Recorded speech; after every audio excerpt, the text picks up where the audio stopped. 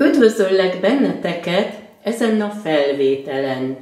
Egy gumimackós vagy gumicukros jóslás.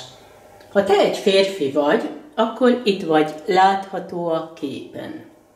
De ha te egy hölgy vagy, akkor ez a férfi utal a lelki társadra.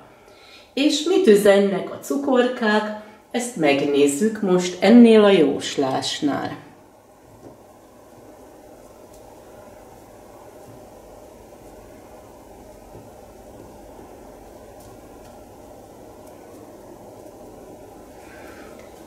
Itt látható kétszer is ez a tojás.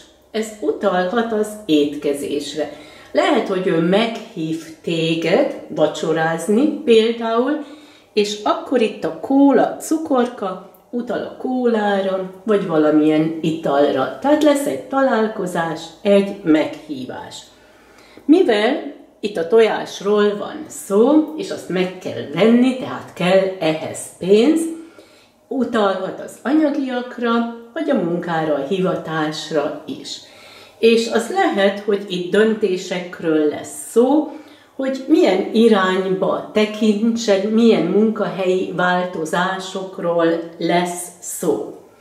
Itt a kólás üveg, ez a cukorka, jelentheti azt is, hogy valamit másképpen kellene nézni. Hiszen itt van két szín, két irány, vagy a döntések, vagy hogy valamilyen dolgokat más szemmel kellene tekinteni. Itt kétszer is megjelenik a szív, tehát szerelemről van szó, róla és rólad, és itt a gyűrűk jelentik a kapcsolatot. Vagy azt is jelenthetik a gyűrűk, hogy visszatér hozzád, vagy valaki visszatér nála a múltból, és itt rendeznie kell a dolgokat, lehet, hogy az anyagiakat. Itt ez a narancs színű medve vagy mackó jelenti, hogy itt kitisztul valami, láthatóvá lesz valami, utalhat a szív melegségére is, hiszen olyan, mint egy napsugár. És mit üzennek a kártyák? Itt ez a korbács azt jelenti, hogy fáj valami. Lehet, hogy valaki megbántotta őt, és ezeket a dolgokat akarja ő tisztázni, vagy az is lehet, hogy ő bántott meg téged, és most lesz egy meghívás, a virágcsokor utal a nőiességedre, a szépségedre, de kellemes meglepetésre is, vagy egy ajándékra, és a gyermek jelentheti az ártatlanságot, vagy jelent egy új kezdetet. Tehát számíthatsz arra, hogy lesz itt egy meghívás, elmentek vacsorázni, visszatér hozzád, itt tisztázódik valami, bizonyos dolgokat másképp kell nézni, és itt megvan a szerelem kettőtök között. És ha te egy hölgy vagy, akkor megnézzük, hogy mit üzennek a cukorkák,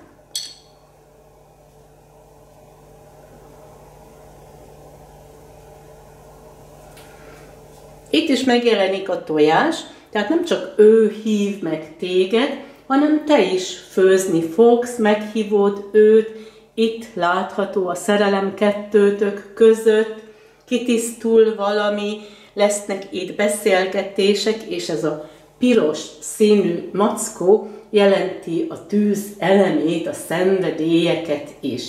Nálad is úgy van, hogy bizonyos dolgokat másképp kell tekinteni, mérlegelni a dolgokat, hogy itt legyen egy középút, legyen meg ez a belső egyensúly.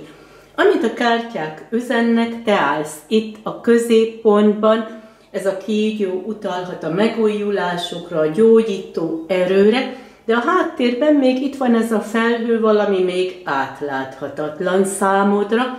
Ez a kígyó lehet egy hölgy is, feléd tekint, közeledik hozzád, de nem tudod, hogy milyen szándékokkal, hiszen a felhő azt jelenti, hogy ez olyan átláthatatlan. Amit a felhő még jelenthet, fél évet. Gondolj vissza arra, hogy mi történt fél évvel ezelőtt, mert ez az esemény, vagy ez a személy most visszatér hozzád. És én kívánok neked egy szép napot, nagyon sok szeretettel, Dendera!